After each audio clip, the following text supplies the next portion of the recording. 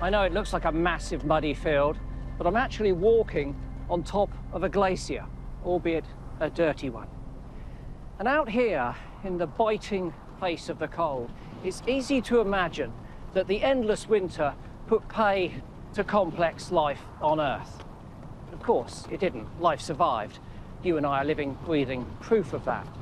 But when it comes to looking for the clues that might tell us how it pulled off its great survival trick, these wild, frozen places are a top place to look.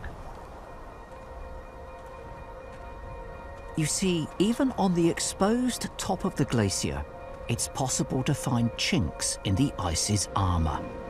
Just big enough for life to exploit.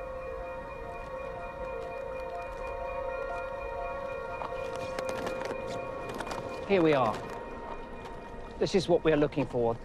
This, we think, is very similar to what might have formed way back then. Some dust blew out onto the glacier, was warmed up by the sun, it melted the surface of the ice and formed this puddle. They're called cryoconites, and it's this simple combination of dust and water which proved to be life's saviour. Now, I know it doesn't look like much, but this is in fact a beautiful little oasis out here on top of this vast glacier.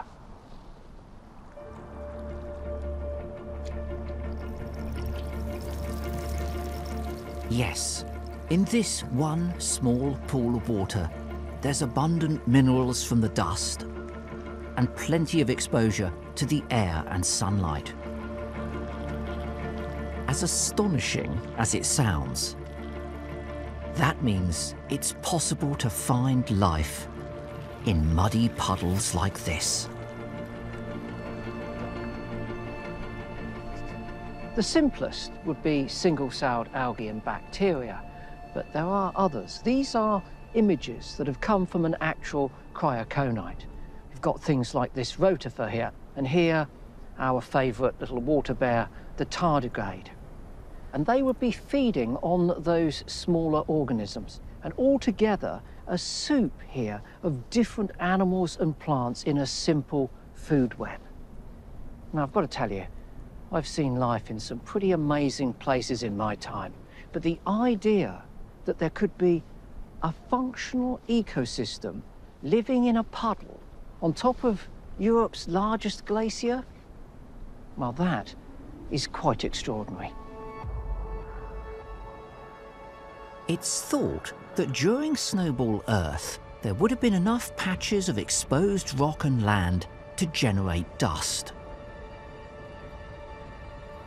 Not as much dirt as this, but enough to create many similar puddles. And what's more, scientists have exposed these tiny oases in the laboratory to conditions found on Snowball Earth and the life inside survived.